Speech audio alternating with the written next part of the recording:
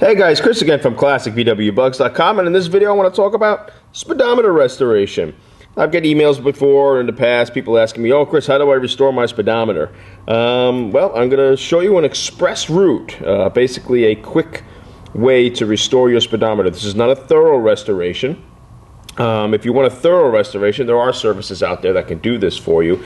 But for the most part, I've been able to get away with any of the restorations I've done before in the past, the speedometers I've been able to do my, uh, by myself on my own. Um, so um, let's basically get to it. Here's a 55 speedometer that we took out. That's uh, from a 55 oval ragtop bug that I'm working on for my good friend Lucky Larry. And we took it out of the dash and we're ready to start cleaning this up. Now, as you can see, it's got some oxidation, it's got some surface rust. Um, the bezel here has got corrosion on it. Um, but nothing to the point where we cannot restore this on our own. So what I'm going to do is we're going to first take the glass off. Now when we when we look at the glass, of course it's held in by this chrome bezel. Well, it's supposed to be chrome. It's got some grime on it. And for the most part, when I look at this bezel, it looks like it's probably been pried off once or twice before. As you can see here on the ridges here, the edge, this wraps around and hooks around the housing, this, this bezel here. So you got to kind of get under there and pry it up or get in between here where the speedometer mounts to the dash in between here and pry this off. Sometimes it can be stubborn, but for the most part, if you're persistent and just take your time, it will come out. Now, by looking at this bezel, I can see that I can most likely clean this up myself. This is just outer surface stuff that I can even scratch off with my thumb, and it's already starting to clean up. Uh, so with a little bit of a, with a little Brillo and some polish, I can I can clean this up and this will look perfect. Um, it's only this outer ridge really that pokes through the dash that you see. So this is what's more important than basically this back part. But for picture's sake, we want it to all look right, right? So, all right, let's get to it, Chris. You're talking too much. um, okay, so we want to take the glass off. I usually get like an implement like this, where you get a small little screwdriver, and you try to get under here, right? See where I have my implement here and where it starts to split and you just kind of pry up. I mean, I had this off recently, so it's going to come off pretty easily. Uh, but you just start prying up this way and it should come off. Start working your way around. Oh, there it goes. See, just popped right off. Now you take your glass off, take your face, put that aside, and now we want to take this out of the housing, the, the dial. Take a look at your dial. I mean, of course, you got your gels down here. One's missing, one's there. A lot of times these are faded, and uh, we're, we're going to replace those as well. You could buy new gels. But you want to take a look at your needle, make sure it's all looking good, make sure the chrome button here is looking good. Look at your numbers real quick. I know you're only seeing this set of numbers here, but a lot of times um, numbers, the white is, is off, and uh, it's off or it's faded away. Um, I've seen guys actually get in there and repaint the numbers in there with like a with like a toothpick or something or a very fine brush. You got to have some skill to do that. So, but uh, for the most part, these numbers look okay. Uh, so let's take this off. On the back, there's two cheesehead looking screws that hold the dial into the housing. So just put that aside. Okay. Take that off, put that aside, it around. Now with your finger, you could just start pushing this end where the speedometer cable attaches to and push this through. Oopsie, my gels fell out. So they weren't even really hung on there much more.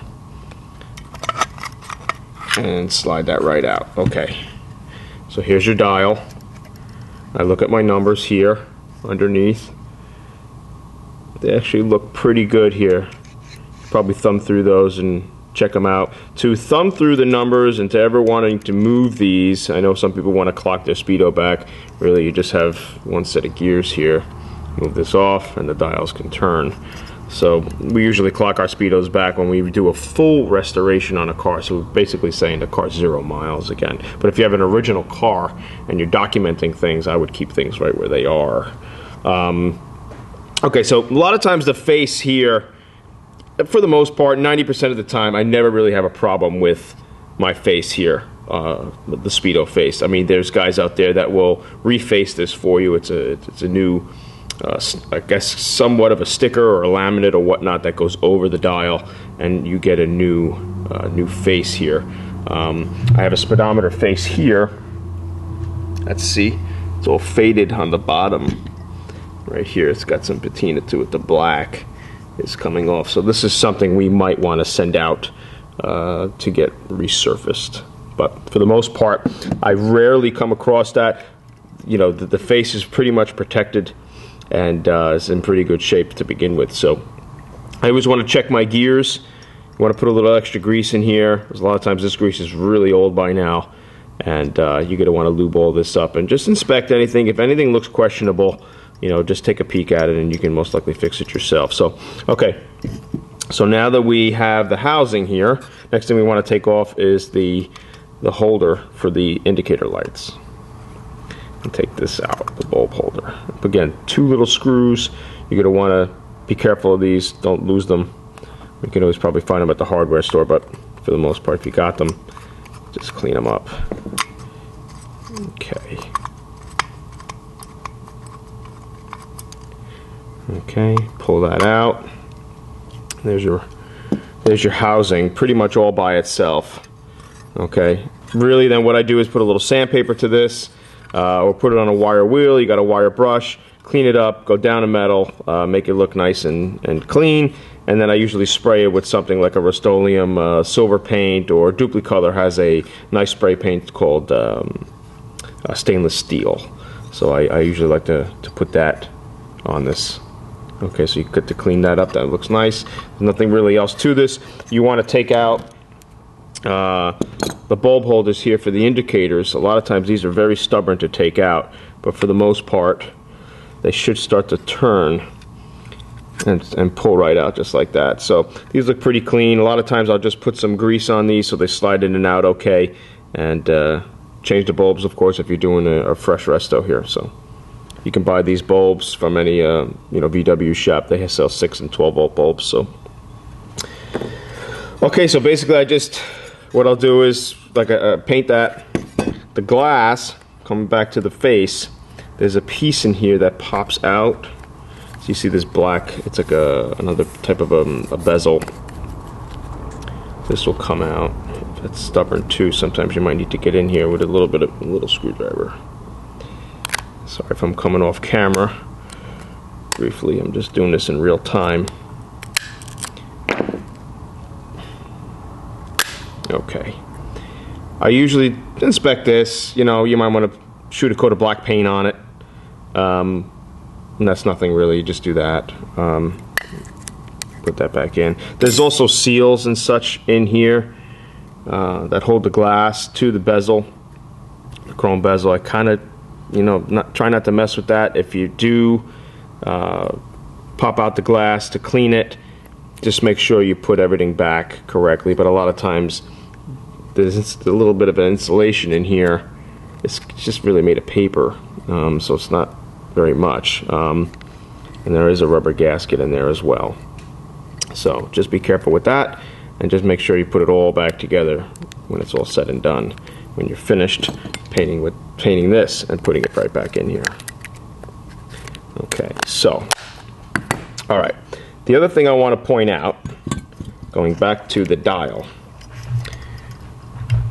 are the the gels, the pieces that show, you know, the indicator lights, the directionals, the oil, and the generator lights. A lot of times, again, this is only scotch taped, really, or glued to this dial okay, to the face here. So as you can see here, they had this here, and that's what shows to the front. Okay, they sell these gels. You can buy brand new ones. You can even go to an arts and crafts store and they have stuff like this. But uh, Wolfsburg West or any of the VW uh, places will sell the gels. I mean, I bought a pack and I'm still using the same pack after a few years now. I mean, you're only cutting small pieces to put this back here on the dial. So just little pieces of scotch tape, a little bit of glue if you want. You can make your own colors up if you want. I've seen people put their own colors in there, but I mean, I always go back to stock. I never really use blue. Uh, I usually just stick with the green and the red for the early cars. So uh, just want to you know glue that back. Usually it's the indicator light and the generator light is red and the oil light is green. So Okay, so and then um, yeah, when, when, you look at the holder here, make sure you got no cracks in the in the indicator bulb holder. Um, again, take out the bulb hold the, the, the holders themselves that insert into this plastic piece. Put them on the wire wheel if you have to, if they're a little oxidized, or buy new ones, and just put in a little bit of grease so there's no over time, doesn't corrode and doesn't get difficult to pull in and out. Um, and then for the most part, that's about it. We basically covered everything it would take to restore your speedometer. Uh, there's really not much else to it. Um, once you spray up this, let it dry. Sometimes you might need to let it dry overnight, but uh, that duplicolored stainless steel paint gets dry in, in a matter of you know half an hour. You can touch it. So um, I basically then you get your dial, you put that back in, insert it into the hole back here. If you can see that. Okay, tail end goes in the hole. Sometimes you need, may, may need a little finagling to get it in. There's a tube in here for this high beam light. Okay, so that just slid right in. And then on the back, you just line up the holes here, put those two cheese head screws back in, put your your bulb holder back in, goes in here, okay? The other two little screws will hold those in. Okay? And then whoops you pop your glass back on. And then usually might need a little bit of persistence to get the chrome around the housing again but for the most part it should snap right over. You should you'll be able to hear it. And it should hook on. Just line up the slots to where the housing uh, bolts to the dash. You know, there's a slot here. If you can see that. See, it's cut away for this particular piece. So just hook it around. There you go. You hear it snap in. Now it's around. And that's basically it. I got some finished product uh, pictures here for you to take a look at of what I've done in the past to speedometers and as you can see it's really not much to restore these to make them look killer. Just a little bit of polish on the dial. You know might just want to clean that up. A little bit of spray paint here and there. A little bit of sanding here and there. And that's basically it. You can do this at home.